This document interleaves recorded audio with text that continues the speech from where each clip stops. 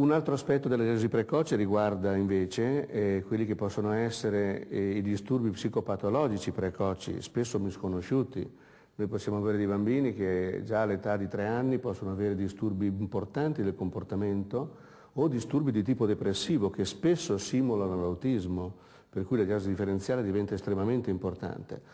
Diciamo che la nostra intenzione è quello di sviluppare molto il progetto Diagnosi Precoce 03, anche perché è un'esperienza molto importante per la popolazione, per noi operatori ed è anche nuova, abbastanza innovativa rispetto alla Regione Veneto, dove sicuramente tanti progetti per la diagnosi precoce sono fatti e sono anche molto importanti, ma forse non in questa direzione in modo così dedicato e così specifico.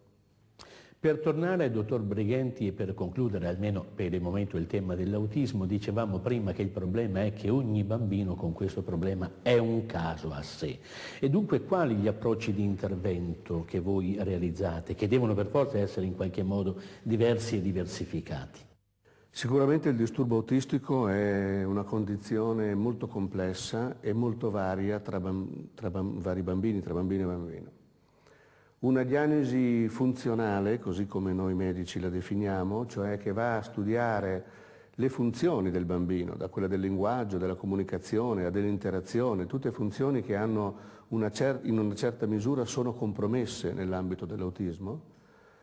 La diagnosi funzionale, ripeto, ci permette di impostare un progetto riabilitativo individualizzato. Personalizzato. Personalizzato. Noi crediamo molto in questo tipo di approccio che si rifà a varie tecniche e non solamente ad una in modo specifico, anche perché non esiste oggi una tecnica di cura migliore, diciamo pure, di un'altra.